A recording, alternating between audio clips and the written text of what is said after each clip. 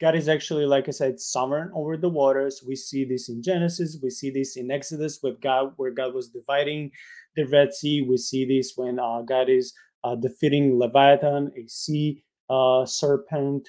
We see this basically throughout the Bible that waters are not something that is, uh, it may be untamable by someone like me and you, but is completely in control uh, under under Yahweh. But not just that, it serves His purposes for good and for evil. Whatever He plans to do with His creation, He's more than um, able to do. Um, but also, oh, this is amazing. Jesus being God. Now I know we are going to the New Testament just for a time being.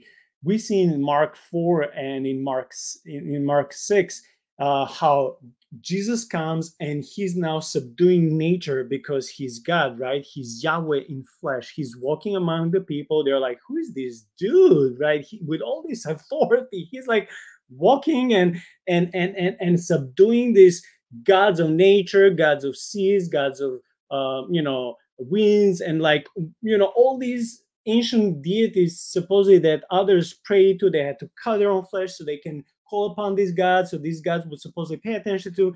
Jesus doesn't do any of these things. He's actually walking towards his uh, his disciples, trying not to, um, you know, bring anxiety among them. But they're like, "Oh, this is this is ghost. Who is this person that is doing these things?" Right. So we see, like I said, in um in the Gospel of Mark, Mark four and more Mark uh, six, how uh, Jesus first calms the sea and then he walks on water. If this is not a prime example in the New Testament of Jesus' authority as Yahweh in flesh over uh, these chaotic, I won't say beings, but these chaotic forces slash fallen beings who thought they have some authority over these, uh, you know, parts of nature or life.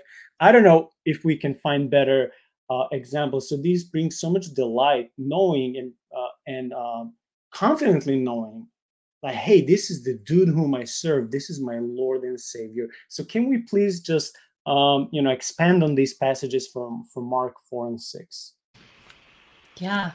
I love it. I mean it's amazing. Like so you know you, you say we, we're not personifying those things but the people would have seen the connections. They would have connected them intimately there there were beings who had supposedly authority over those things. And jesus is just out there just walking all over it like it's nothing. And and it again it's not he didn't have to take a sword and go and fight the waves. He just walked out there because he could. Eh, there there's no battle there. There's no struggle there but people would have known that that's what he is doing, is showing his authority there. And yeah, so, you know, I, I remember when I was little, we would hear the story of Jesus walking on water. And it's it's this idea, you know, to me it was like, oh, look, this is a miracle. I can't walk on water. Jesus can walk on water. So that's the difference that was the difference in my mind, right?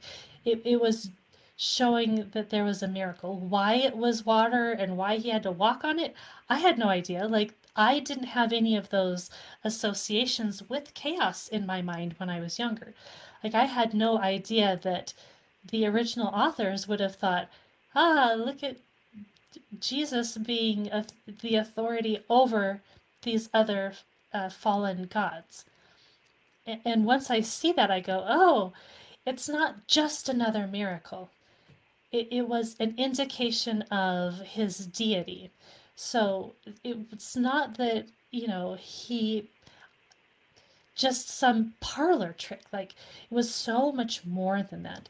And the depth of meaning there is just incredible once you look at it and once you start seeing these. And I guess that's why that's one reason I really like biblical studies is you get to know these things that you've maybe read dozens of times and you've heard the story a dozen times.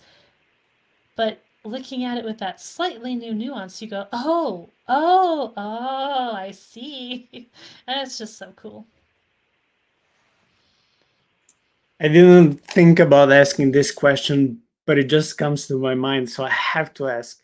Do you think that in the same fashion as uh, in Christ, uh, God gives us authority over uh, demons, which are called scorpions and snakes, metaphorically elsewhere?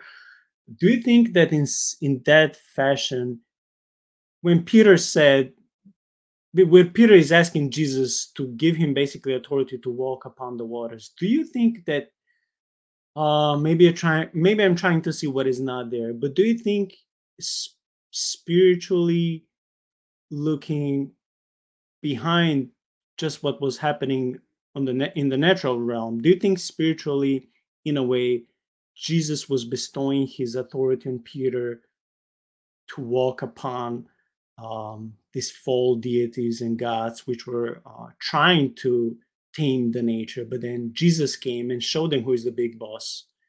And then look, not just he's the big boss, but he's giving one of his I won't I won't say minions, but one of his disciples can actually also defeat these gods. Do you think there is this spiritual warfare in this in that little part of the story where Peter tries to walk on the water? Definitely. I think we see that and of course, you know, Peter gets afraid and well, what does that mean? And we, we look at Peter's life and he has all of these ups and downs, right? Like he's he's riding really high and he's doing real well and then suddenly we're like, "Come on, Peter, really? What why did you have to be like that?" Or so he's got this up and down kind of progression to his storyline in the New Testament, which is fascinating because you know, you'd think that Peter, we think of him as being the, one of the closest people to Jesus. And if anybody could have done and should have done and would have known and could have known, it would have been Peter. And yet we see him failing all the time. And yet, every single time, what happens? God reaches out and lifts Peter up, even in spite of all of that.